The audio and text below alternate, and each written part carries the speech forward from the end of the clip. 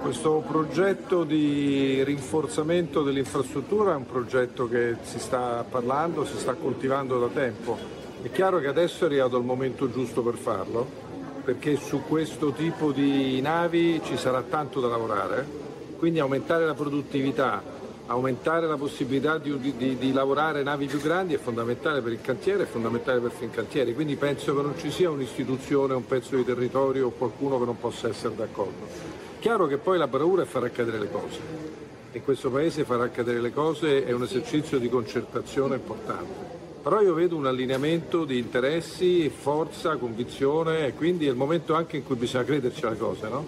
Noi ci crediamo, spingiamo, siamo qui oggi, stamattina anche per questo. Lei si è insediato da poco più di un mese, che situazione ha trovato? Quali sono le prospettive per il futuro?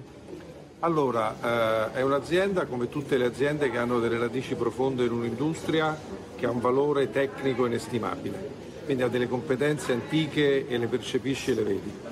Dopo le competenze la prima cosa che noti sono le persone. Hanno un entusiasmo, una luce negli occhi, un coraggio, un attaccamento all'azienda senza retorica. Ecco, eh, il passato, le persone sono quelle che ti servono per costruire il futuro. Pensate di specializzare diciamo, questo cantiere sul, eh, sulla difesa, sul civile o lasciarlo? No, la bravura di questo cantiere secondo me, secondo noi, è la polivalenza.